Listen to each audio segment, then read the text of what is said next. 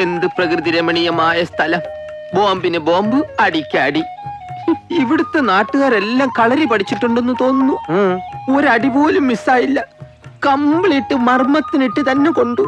അതിൽ പോത്തെന്ന് പറയുന്നവൻ ആൾ കണക്ക് മാഷാന്ന് തോന്നുന്നു. എങ്ങനെ മനസ്സിലായി? കണ്ടില്ലേ? കണക്കിന്റെ എംബ്ലം പോലെ ഇടിച്ചു വച്ചിരിക്കുന്നത്. ഭാഗ്യത്തിന് അവന്റെ ഈടി മനസ്സിൽ നിന്ന് ചെവിന്ന് മായുന്നേയില്ല. ദൈവസഹായം കൊണ്ട് എന്റെ പാർക്ക് ലൈറ്റിന് മാത്രം ഒരു കുഴപ്പം ഉണ്ടായില്ല. ഇപ്പൊ നിനക്ക് മനസ്സിലായില്ലേ? ഞാൻ ഇവിടെ എങ്ങനെ പിടിച്ചേക്കണേന്ന്?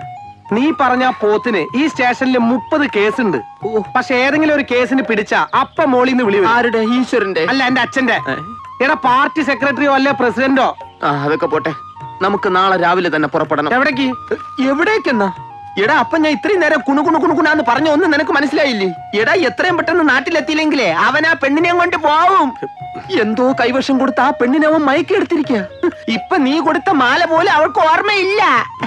അത് മാത്രമല്ല ഞാൻ അവളോട് ജസ്റ്റ് ഒന്ന് സംസാരിച്ചതിന് ആ പന്നി എന്റെ മുതു കയറിയിരുന്ന അടുപ്പം കൂട്ടി പൊങ്കാലട്ടാ.